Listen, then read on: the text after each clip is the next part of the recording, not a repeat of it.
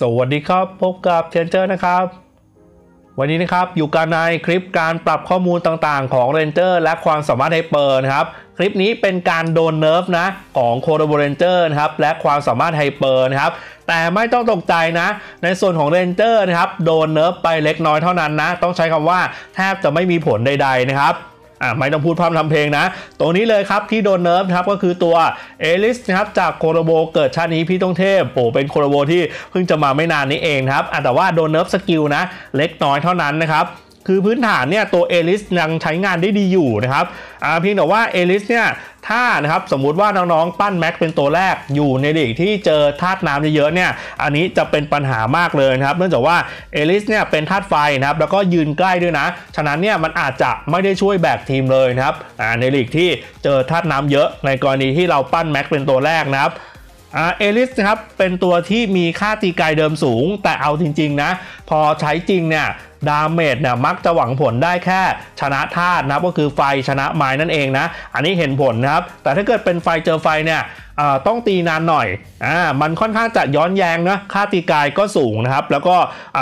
damage skill ก็ถือว่าหนักนะครับอ่าแต่ว่า skill นี้นะครับ damage ทะลุ stun แล้วก็ผลัก ranger ไปยังแนวหลังนะครับ ไม่ได้โดน nerf นะ ยังเหมือนเดิมครับ ยังมีความแม่นยำ skill สูงอยู่นะ แถม cooldown skill ต่ำ7 วินะครับอะใครใช้เอลิสเนี่ยแน่นอนนะครับว่าศัตรูนะครับมีการโดน damage ผลัก stun ไปยังแนวหลังทีทีอยู่เหมือนเดิมนะ ไม่ได้โดน nerf นะครับไม่ต้องตกใจนะครับ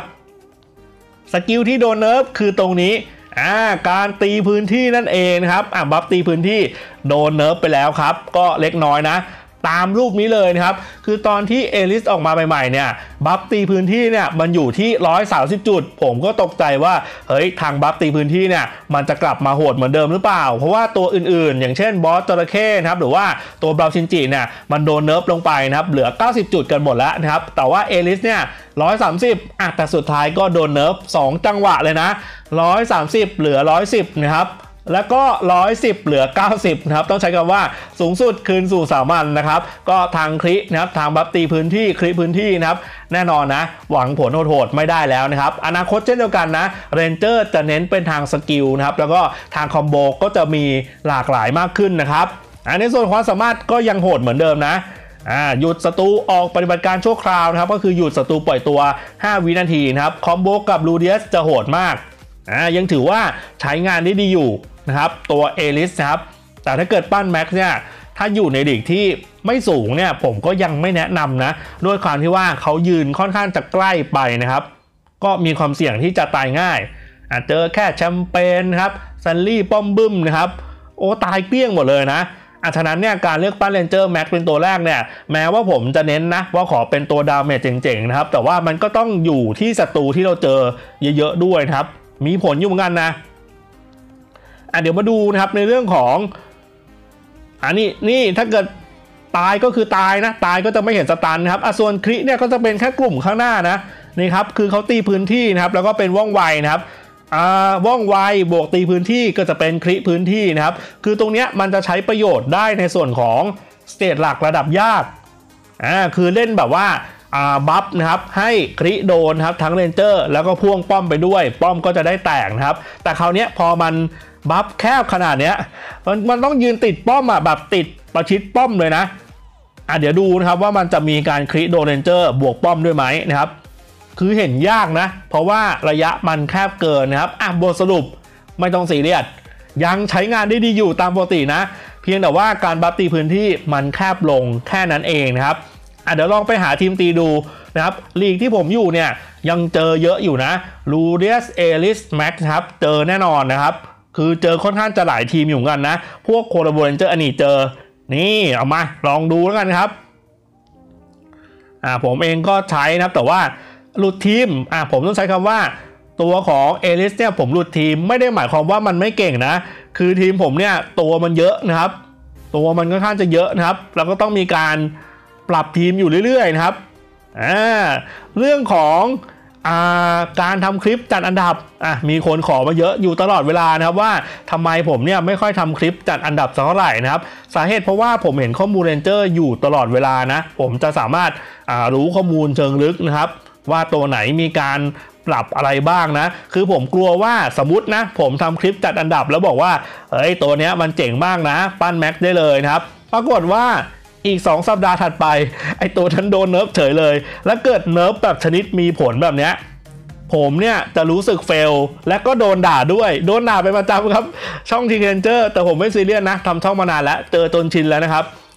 คือพอเป็นแบบนี้ผมก็ไม่กล้าจัดอันดับนะ ผมก็กลัวว่าเฮ้ยเดี๋ยวเพื่อแบบจัดอันดับไป เราไม่รู้ล่วงหน้าไงว่าข้อมูลเนี่ยมันจะมีการปรับตอนไหน เกิดสมมุติว่ามันปรับแบบรวดเร็วทันใจอย่างเงี้ยเฮ้ยสองอาทิตย์หรือ 1 เดือนอ่าโดนและคนที่ปั้น max ไปเนี่ยเขาจะรู้สึก fail นะครับ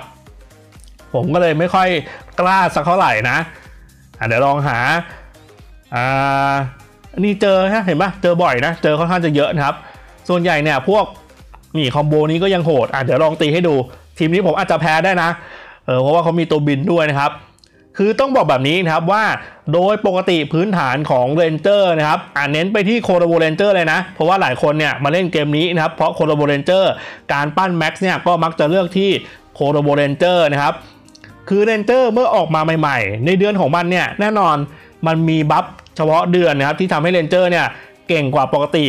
ยังมีพิเศษอีกตรงเนี้ย ไม่มีใครรู้แน่ๆ ส่วนใหญ่จะไม่ค่อยรู้กันนะครับว่ามันจะมีการเพิ่มนะครับค่าพิเศษอาจจะเป็นพลังโจมตีนะครับ หรือว่าในส่วนของพลังชีวิตนะครับ อันนี้เขาจะใส่เข้ามาเป็นพิเศษอะ ranger ในเดือนนั้นเนี่ยมันก็จะดูเก่ง ดูตีหนักนะครับ ดูมีความถึกมากเป็นพิเศษนะครับพอผ่านเดือนไปแล้วแน่นอนครับ ต้องมีการโดนเอาออกนะ ทั้งค่าที่ใส่มาเป็นพิเศษ อันนี้ไม่ใช่ค่าแฝงนะ ค่าแฝงมันจะติดตัวเป็นพิเศษนะครับ อันนี้เป็นค่าที่เพิ่มขึ้นมานะ แล้วก็ buff เฉพาะเดือนก็จะหายไปนะครับ แน่นอนว่าประโยชน์จากตรงนี้ก็จะหายไปนะครับ ranger ก็จะเก่งลดน้อยลงนิดนึง แต่ก็ยังถือว่ายังเก่งอยู่นะ อ่าไม่ใช่ว่าไม่เก่งนะครับคือ ranger บางตัวต้องใช้คำว่าตัวที่มันเก่งอยู่ตั้งแต่แรกอยู่แล้วเนี่ยแน่นอนว่า มันก็ไม่มีอะไรเปลี่ยนแปลงมากมายนะ ฉะนั้นไม่ต้องซีเรียสนะครับ น้องๆที่เพิ่งปั้น สมมติว่าเป็น collabo ที่อาจจะเพิ่งผ่านมาไม่นานอ่าถ้าสมมุติว่าย้อนไปของต้นปีนะครับ อย่างเช่นเอเรนนะครับ เอเรนเนี่ยยังใช้งานได้อยู่ แต่พอมันมีตัวใหม่ๆออกมาเยอะเนี่ยแน่นอน ranger มันก็ความเก่งก็แบบลดน้อยลงนะ แบบยังเห็นได้ชัดนะครับ แต่เอเรนก็ยังข้ามได้ดีอยู่นะอ่ายังใช้ในส่วนของ stage ยากนะครับ ข้ามไปตีป้อมได้นะครับอ่า PVP นะครับเกมนั่นเองเน้นไปที่เกมนั่นเองนะเอเรนยังดีอยู่นะครับ แต่ว่าตั้งรับเนี่ยจะไม่ไม่ค่อยเก่งเท่าไหร่นะครับ อย่างชินจังฮิมาวรินะครับแทบจะไม่มีอะไรเปลี่ยนแปลงเลยนะครับผมเองก็ใช้อยู่นะชินจังฮิมาวรินะครับแล้วก็เกมตั้งรับเนี่ยแน่นอนถ้าเขาไปเจอในช่วงที่มันแบบติดความสามารถดีๆนะ โอ้โห แดงเถือกทั้งกระดานครับก็ยังโหดอยู่นะ พอมาเป็น Goblin Slayer นะครับอ่า Goblin Slayer นี่ก็อ่าเดี๋ยวดูก่อนผมก็ลืมๆแล้วนะ มิถุนาน่าจะเป็น Goblin Slayer นะครับอ่า ชินจังแล้วก็ Goblin Slayer อะใช่ Goblin Slayer ก็ยังเหมือนเดิมนะครับ ข้อเสียก็ยังเหมือนเดิมคือใช้แร่เยอะไปนะ แต่มันก็ยังเกรียนเหมือนเดิมนะอะตัวแบบนี้นะครับ ข้ามมาแล้วมันก็ยังใช้ได้ ถ้าชอบก็ปั้นไม่ชอบก็ข้ามครับง่าย ๆ ครับอ่ายังเกิดชาตินี้พี่ยงเทพอ่าลูเดสกับเอลิสก็ยังเก่งอยู่นะอ่าไม่ได้มีอะไรเปลี่ยนแปลงนะครับ ส่วนนัทสึเอลซ่าคือบางคนที่แบบข้ามเดือนมาวันเดียวถามแล้วพี่มันเก่งลดลงไหมยังเหมือนเดิมครับ ยังเจอเยอะนะนัทสึเอลซ่านะครับไม่ต้องกลัวนะตัวไหนที่มันเก่งมาตั้งแต่แรกเนะี่ยบอกเลยครับว่ามันจะเก่งต่อไปยาวๆ คืออย่างน้อยๆก็เป็นปีนะอ่ามันจะมีแค่บางตัวเท่านั้นนะครับเช่นตัวนี้นะครับที่มันเก่งแบบว่าคือเกิน meta ไปหน่อยอะมันโหดเกิน meta ไปหน่อยตัวแบบเนี้ยมันจะแบบว่าต้องโดนพอถึงเวลาเนี่ยต้องโดนแต่มันก็เก่งมาเป็นปีนะ อ่าตัวของอ่าไทกะอย่างนี้นะพอ nerf ไปแล้วเนี่ยก็จะโดน nerf แค่เรื่องของความถึกที่แบบเปราะบางมากๆแล้วbattle หนึ่งต่อหนึ่งเนี่ยจากที่โอ้โหชนะหมดเลยนะครับอ่าเกมตั้งรับนะครับเป็นสายไหวพริบติด cri อะไรประมาณนี้นะครับ ก็กลายเป็นเปราะบางเลยครับหนึ่งต่อหนึ่งนี่แทบสู้ใครไม่ได้เลยนะ แต่พอเล่นเป็นทีมยังเหมือนเดิมเนี่ยเห็นไหม อ่าเล่นเป็นทีมยังเก่งเหมือนเดิมครับแทบไม่มีอะไรแตกต่างนะครับ ความแม่นยำ skill ก็โดน nerf ลงไปบ้างเล็กน้อย แต่ว่าก็ยังถือว่าเป็น ranger ที่ยังโหดอยู่นะในทาง damage นะครับไอดีห้าผมเนี่ยแทบไม่ต้องเล่นเองเลยนะอ่าตั้งรับนี่ไทกะนี่ก็ช่วยได้ดีอยู่กันนะ เป็น damage ไม้นะครับประมาณนี้ ฉะนั้นเนี่ยใครจะปั้นย้อนหลังแบบว่าไม่นานมากต้องใช้คำว่าปั้นย้อนหลังไม่นานมากไม่ต้องกลัวนะ ranger หลายตัวยังใช้ได้ดีอยู่นะครับ แล้วก็ใช้ได้ดียาวๆนะครับยกเว้นว่าจะไปปั้นตัวที่เก่ามากๆจริงๆนะมันต้องพิเศษหน่อยนะอ่านี้ก็เอาตามชอบนะ คือผมก็มักจะเน้นตัวใหม่ๆแหละเพราะว่าตัวใหม่เนี่ยมันก็จะทำให้เราเนี่ยโหดอย่างรวดเร็วครับ อย่างน้อยๆก็ระยะสั้นๆนะ เราจะเหนือกว่าชาวบ้านแน่นอนนะครับ เนี่ยผมนำมาใช้ก็เหมือนเดิมนะ อ่าก็ยังมีการผลัก stun ไปยังแนวหลังเนี่ยค่อนข้างจะแม่นอยู่อะบทสรุปของ collabo ranger ที่โดน nerf ก็คือตัวของเอลิสนั่นเองนะ แต่ว่าเป็นเรื่องของ buff ตีพื้นที่เล็กน้อยเท่านั้นครับ ไม่มีปัญหาต่อมาครับเป็นเรื่องของความสามารถ Hyper ที่โดน nerf ครับ คือความสามารถอันนี้อ่าความสามารถ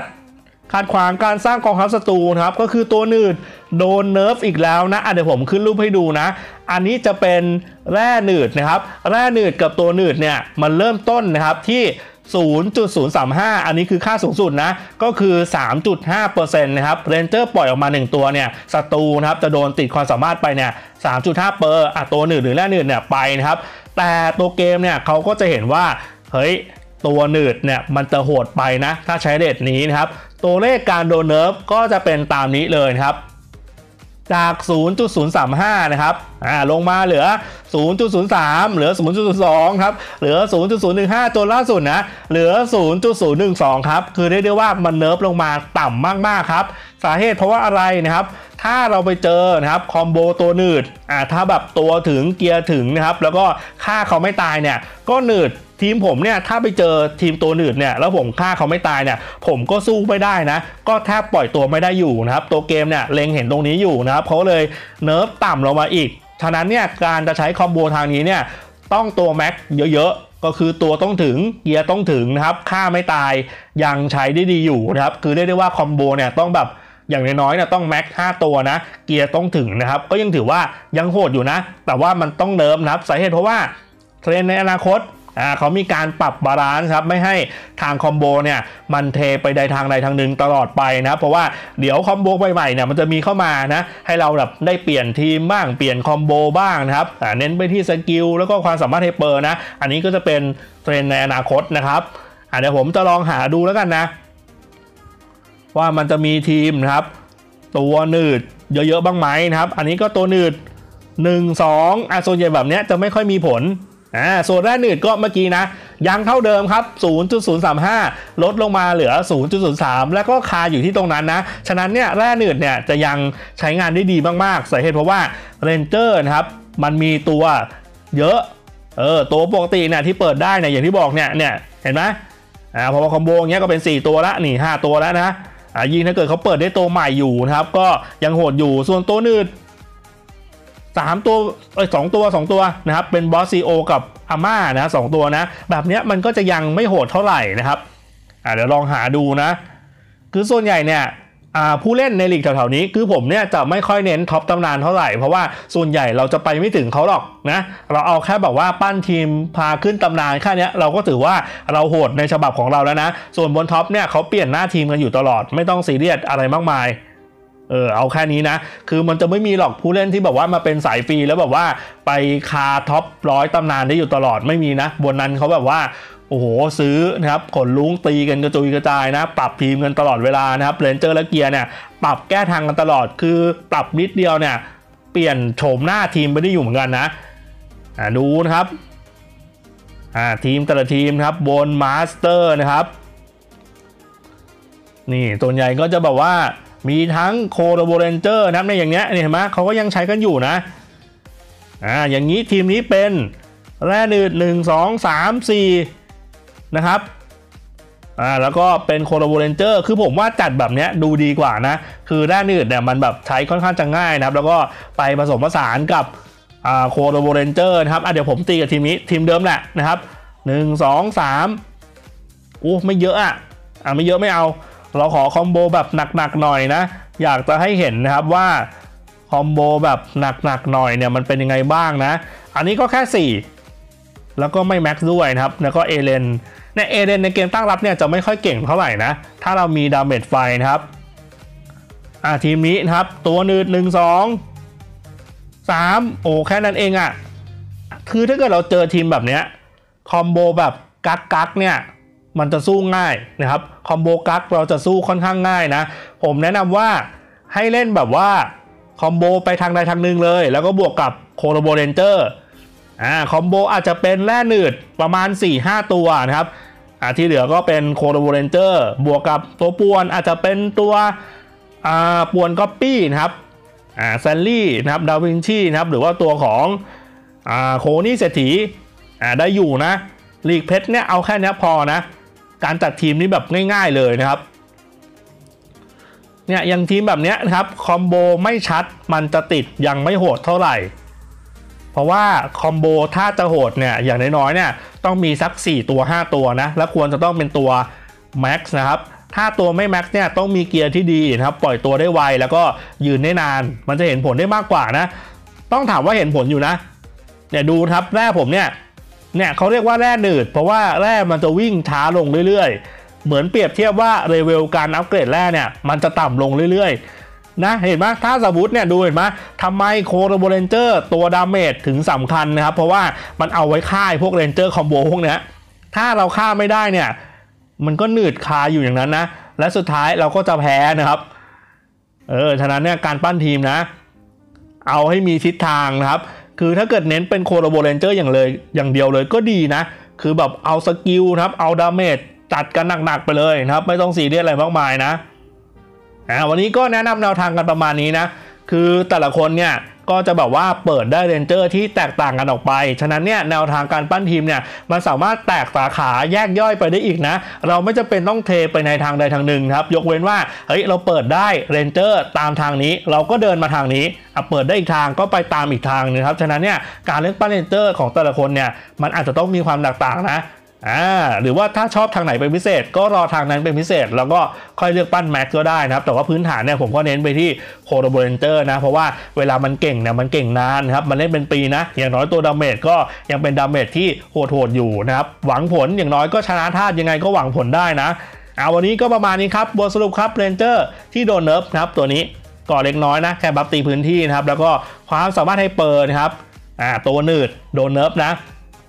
ก็ combo ก็ยังโหดอยู่นั่นแหละเพียงแต่ว่าก็ต้องใช้เยอะตัวสักนิดหนึ่งตัวต้อง max gear ต้องถึงนะครับก็ยังโหดอยู่นะเอาวันนี้ก็ประมาณนี้แล้วกันนะ ถ้ามีข้อมูลข่าวสารดีๆ แน่นอนครับ ช่อง t k r a n g e r นะครับเอาวันนี้ก็ประมาณนี้นะครับลาไปก่อนครับ สวัสดีครับ